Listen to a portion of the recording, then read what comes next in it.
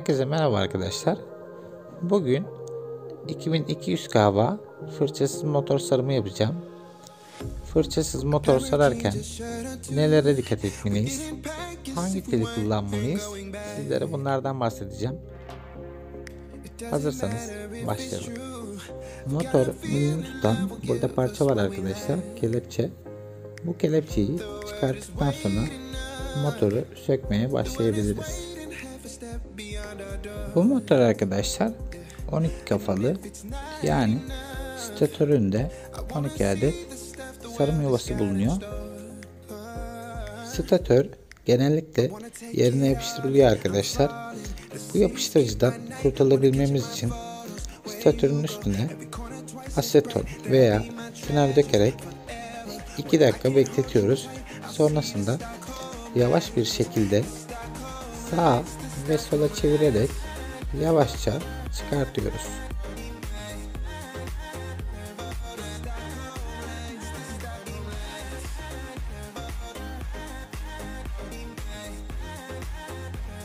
Telleri söktüm arkadaşlar.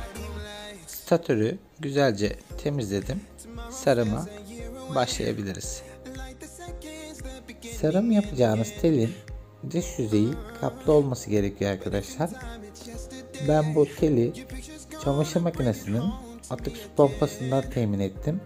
Siz de aynı şekilde temin edebilir ya da satın alabilirsiniz. Bu motorun orijinal sarımında 0.21 tel ile sarılıydı arkadaşlar. Max'da 35 amper çekiyordu. Ben bunu 0.20 tel ile sarıp Max'da 28 ampere düşüreceğim. 0.20 6 tane teli bir araya getirip tek yaptım arkadaşlar. Şimdi sarıma başlayabiliriz. Şemayı görüyorsunuz arkadaşlar. Ben şemaya göre 8'den başlayacağım. Şemada gördüğünüz gibi saat yönünde 6 tur atıp ilk bobinin sarımını bitireceğim.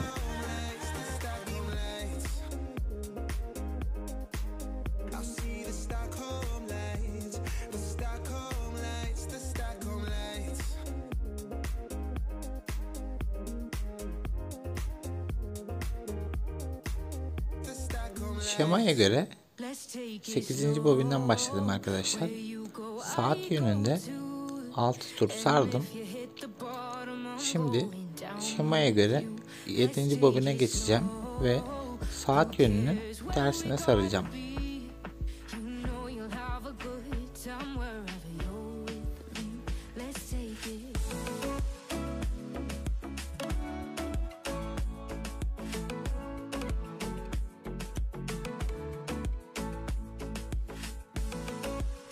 Şemaya göre 8 ve 7. bobini sardım arkadaşlar. 8. bobini saat yönüne 6 tur, 7. bobini ise saat yönünün tersine 6 tur sardım.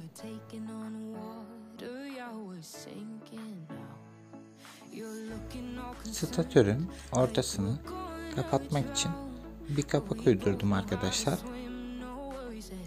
Bunu yapmamdaki amaç şimdi karşı tarafa geçip sarıma devam edeceğimiz için telin orada boşluk yapmasını engellemek için bu kapıyı taktım. Şimdi burada 6 sıra atlayacağız arkadaşlar. Yani 8 ve 7'yi sardık. Buradan şemaya göre birinci sıraya atlayacağız ve saat yönüne 6 tur saracağız.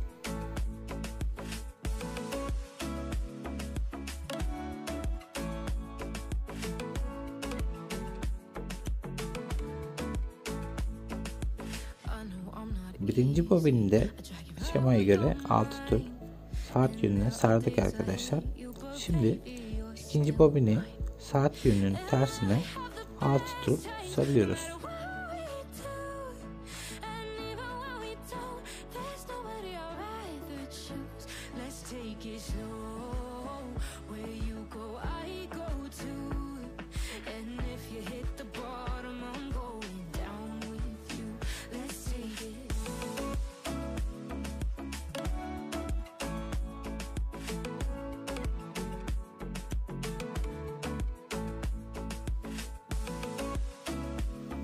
Ne yaptık arkadaşlar?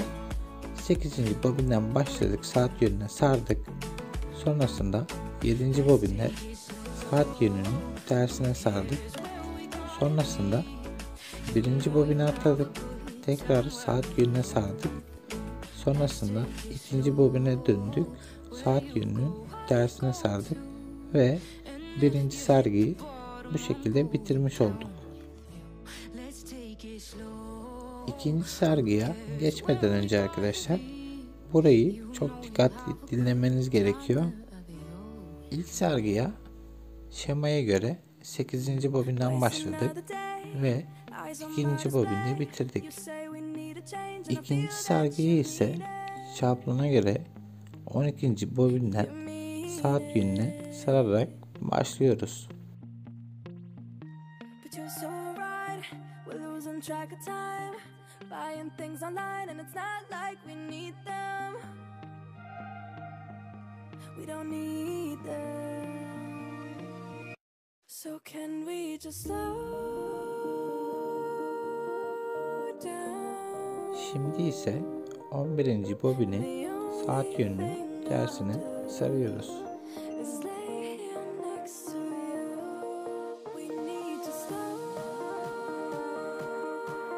Şimdi karşıya atlayıp 5.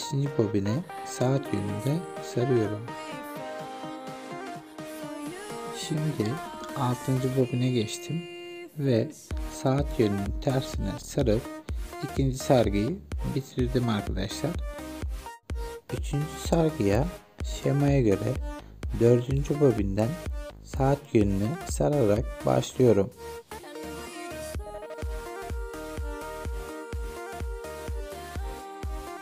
Üçüncü bobini saat yönünün tersine sarıyorum.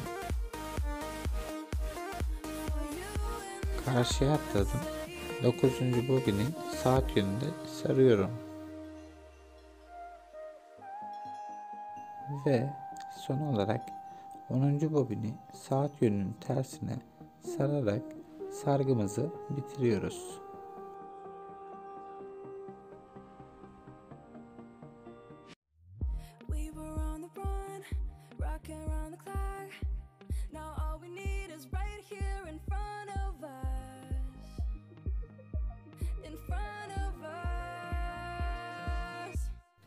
Tel bağlantılarını ise şemada gördüğünüz gibi bir ters bir düz olarak bağlantılarını yapıyoruz. Tellerin dış yüzeyindeki kaplamasını çakmak yardımıyla yakıyorum arkadaşlar. Maket bıçağına güzelce kazıdıktan sonra enerjinin düzgün şekilde aktarılması için zemin hazırlıyorum. Makaronları taktıktan sonra motor hazır hale gelecek arkadaşlar.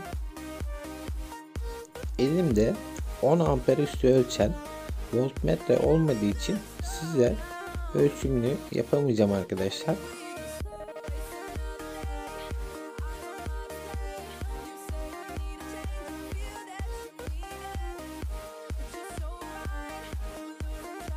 Evet arkadaşlar motorumuzu taktık.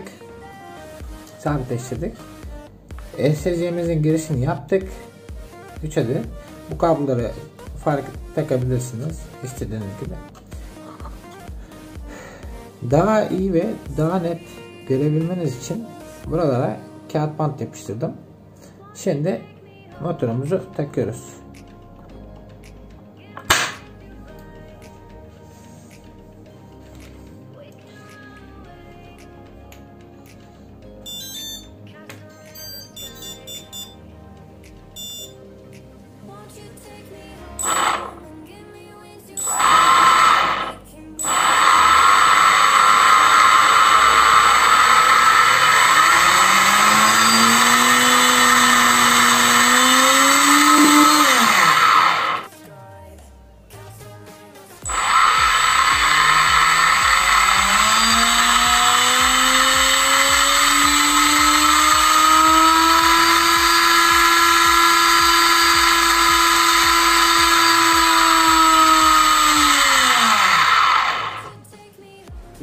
beğendiyseniz like atmayı ve kanalıma hala abone değilseniz abone olmayı unutmayın.